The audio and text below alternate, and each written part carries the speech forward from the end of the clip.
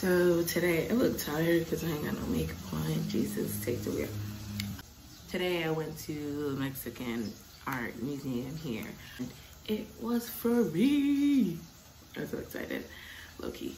Yeah, it's just, I always think about how beautiful art is and what it takes for a person to make art because it's something that it's something that don't get respected a lot by a lot of people and they don't know what it takes to make it and keep doing it when no one's looking and no one's clapping for you.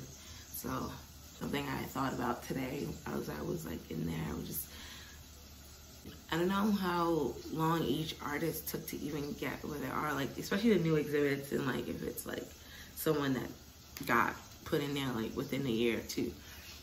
I was thinking about like what it takes for someone to just keep going and don't know what's going to happen at the end of the tunnel, but they still believe that this is something that God um, asked them to do. This is something God has put them um, on this world to do. This is one of the things their purpose, their purpose here is to do, is that art. So that's my little tidbit I thought about while I was in the National Mexican Art Museum here in Chicago.